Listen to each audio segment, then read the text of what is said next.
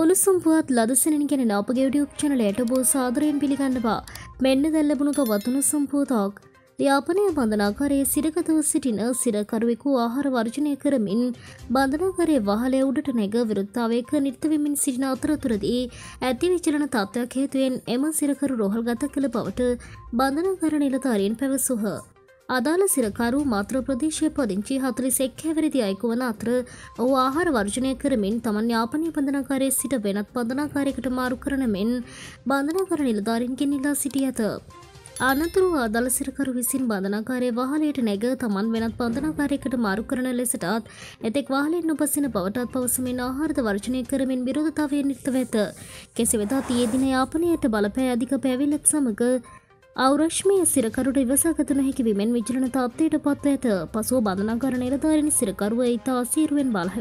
බහලයෙන් බස්සවා ගැනීමට පීවර ගන්නලාදී. කෙසේ වෙතත් අදල සිරකරු විචරණ තත්වයෙන් සිටීම හේතුවෙන් බදනාකර රෝහරට ඇතුළත් කිරීමට පීවර කනු ලැබිය. මෙවැනුම සම්පුවත් ලදසනින් දැන ගැනීමට අපගේ YouTube චනලය සබස්ක්‍රයිබ් කර බෙල්ලයිකනය ක්‍රියාත්මක කරන්න.